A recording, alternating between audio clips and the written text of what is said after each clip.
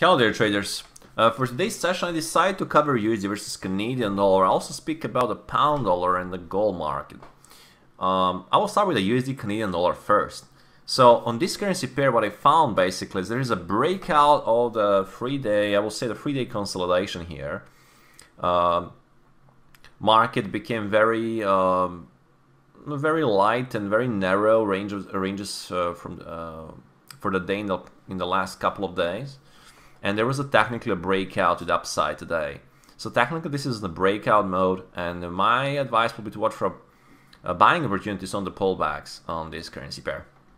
Speaking of the next levels on this potential upside objectives, some first upside objectives, I'll say the price 1.2589 uh, and 1.2605. I can see the next uh, pivot levels on the USD Canadian dollar. In case there's some really big breakout of this and strong volume and there is even a chance for 1.2780 to be on the test. But step by step step by step first area to watch I will say 1.25 uh, 589 that will be a, that one. So breakout mode going on of the tight range and upside breakout is going on.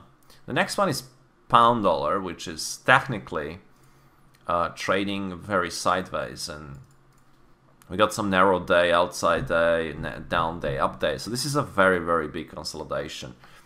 Um, volume is very low. Um, volatility is on the decreased mode. Um, so I'll say also watch for resistance and maybe break of the 1.3895 uh, to confirm some upside move.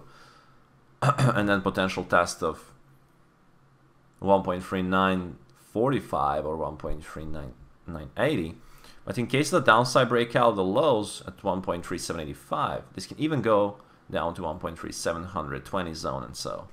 So for now, it's basically consolidation, but breakout mode can be on.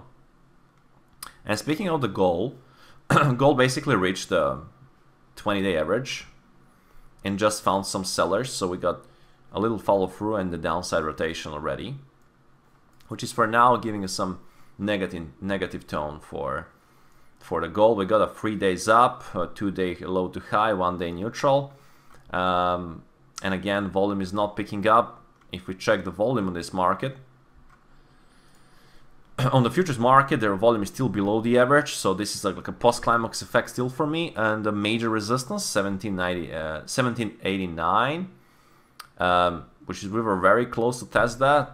And now 20-day average is like main main area there. We already got some rejection, so uh, I will say we might see some downside rotation from this zone here. It's looking like a big resistance zone around in the middle of the Keltner line or 20-day average there.